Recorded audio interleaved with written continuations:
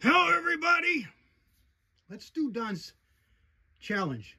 Let's do CW's range bag. Stay tuned.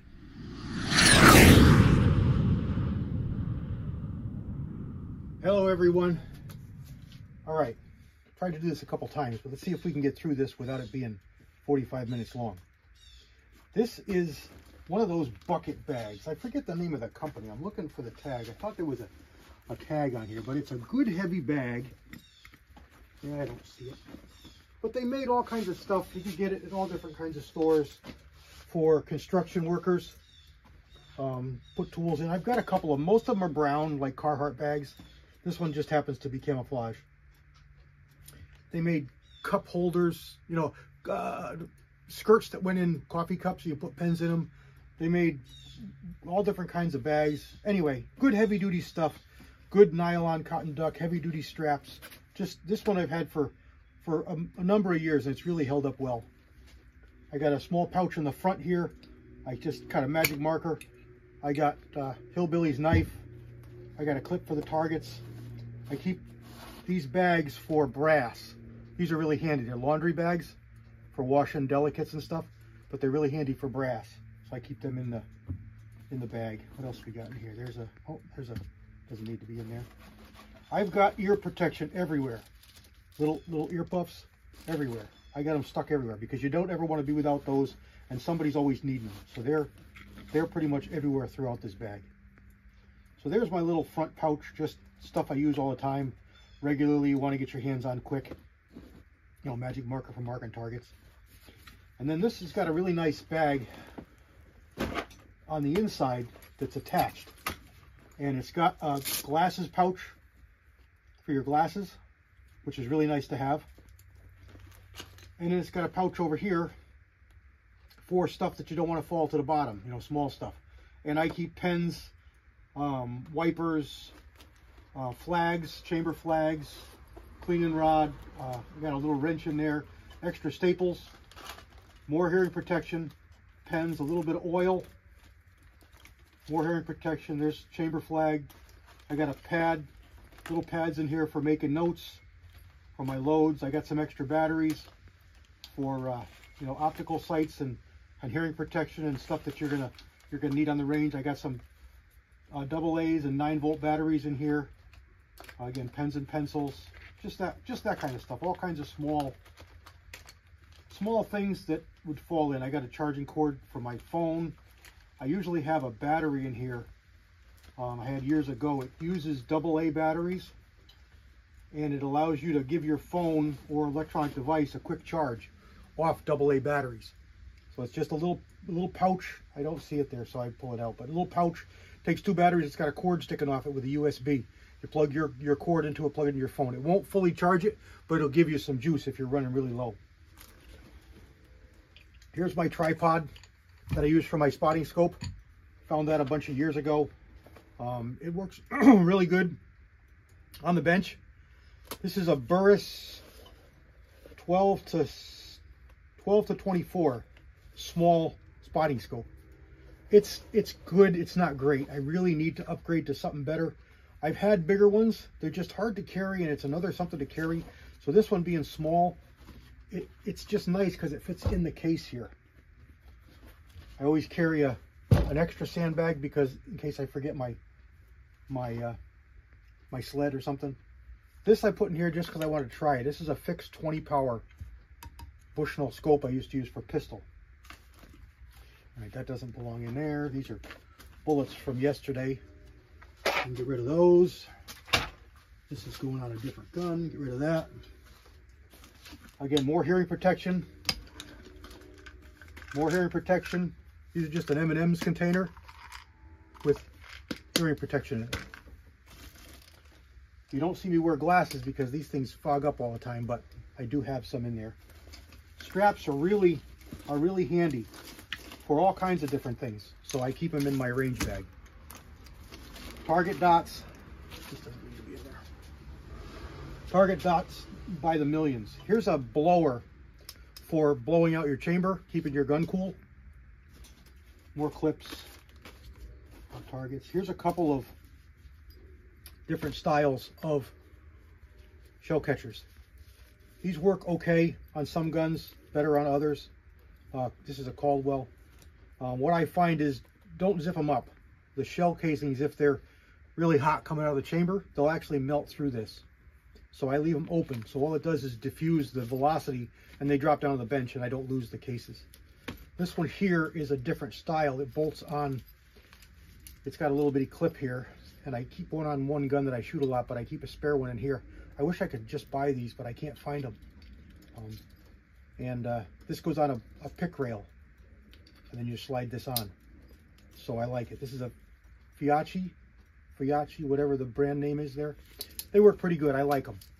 I keep those in the bag. What else we got here? Oh, here's a here's a scope that I took off yesterday. That's going back in the house. Um, small tripod. I use this for a couple different things. It really doesn't need to be in here because I've settled on that one, but let's let's just get rid of it now. Save myself a little bit of weight because I got a lot of extra stuff in here that I really don't need to be in here. I'm going to date myself a little bit here. Many of you guys probably have never seen these.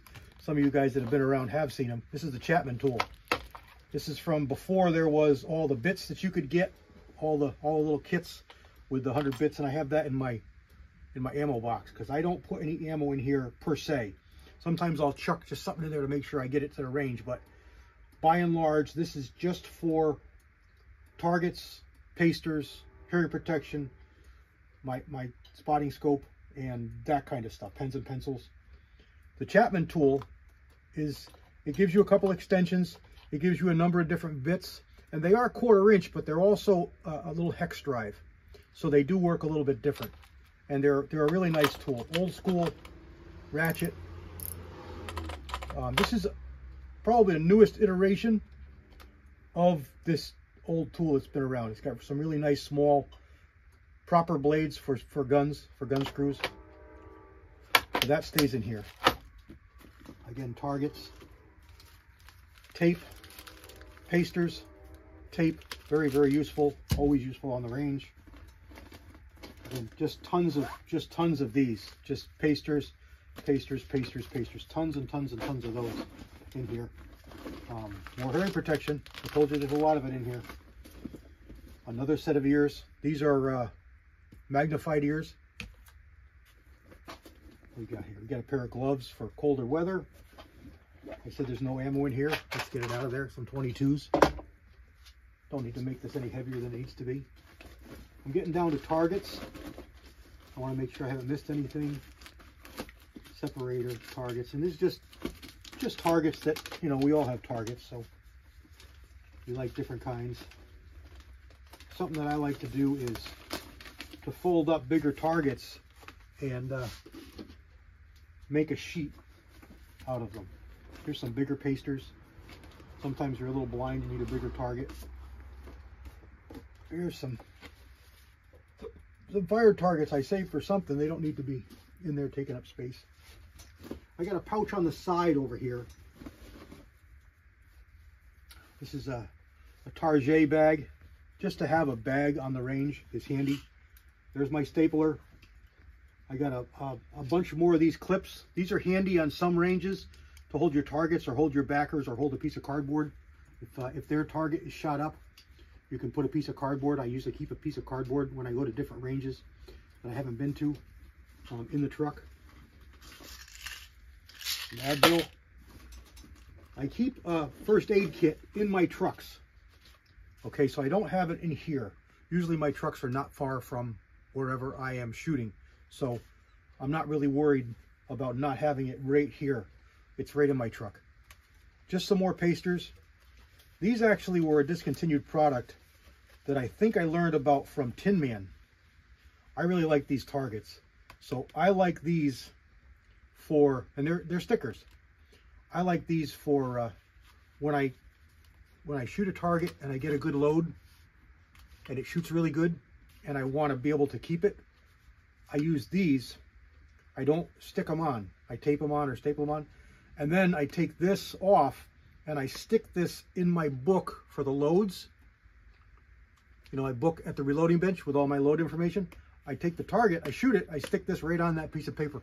I've got reference for what I shot with that particular load. here, what do we got over here? We got tools. So here we have some Allen wrenches and another kit of screwdrivers and bits. Don't use it all the time, but it's handy to have when you need it. So that's in here. And I keep it in there because you see the, the bits kind of slide out. So I keep it in a plastic bag so I don't lose them. And again, more Allen wrenches. Just handy. I'm I tend to usually be uh, have more stuff than I need, more stuff I need to carry. This bag is pretty heavy, but I'll have what we need when we're on the range, most likely. Again, more hearing protection, some hand warmers. We got down in there, we got a rod, a hanging hook for the, the target. There's another pen, the pen, oh, a piece of brass. There's a big surprise in a range bag, right? A piece of brass. And that's all that's in there. Another chamber flag. Can't have enough safety devices, so that's not a big surprise. And there's a screwdriver in there too. And now we're getting to just basically targets because that's all that's left in here for room is just my targets. So I got targets just like everybody else. Um, I like these a lot. Bench rest targets, IBS targets, and some I put pasters on, some I leave. Again, I don't shoot these normal. I use these for uh, after I've proven a target, or I've proven a load rather, because uh, they're kind of small. You only get a couple targets for the size. Much more pasters. Here's some bigger pasters, some bigger pasters, some giant, giant pasters. Bigger targets. And basically we're just gonna be into targets now. Big, I really, I don't like Optics Planet as a company. They're a pain in the ass to deal with, but they make some really nice targets. I like their targets.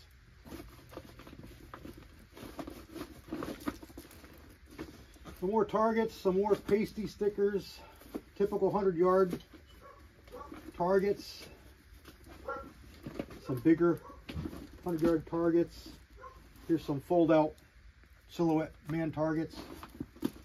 And now we're to the bottom and we just got some some old old shot up targets, I think. I don't even need to be in the bag. There's some pasters, stickers, pasters, stickers. Just paster stickers. These can stay. These are going to go. Those are good. Garbage. There you go. Plastic bag, always handy to have. Garbage. And that's what's in my range bag. Um, I also carry uh, ammo box to the range that's got some tools in it. Gun oil, patches, brushes, and then ammo. So that's what I cart to the range. Um, also on the side here, I've got rolled up sheets of paper and I use these a lot of times when the target's all shot up full of holes. I'll staple this up and then I'll put my targets on top of this so I can see if I have um, you know, a brand new gun that hasn't been shot yet. I don't know where the bullets are hitting. It helps you find those first shots before you're sighted in. Uh, just, uh, you know, helps you, helps you keep your hair. And there we go. I think I got through it this time pretty good. Like I said, I, I've done this twice now uh, the other day, and I didn't I didn't like how it came out. I didn't even this one. I had a little bit of running around more than I like to, but um, I got it done. I got it shown to you. There you go. That's what CW takes to the range. Let's see yours. God bless everybody. CW out.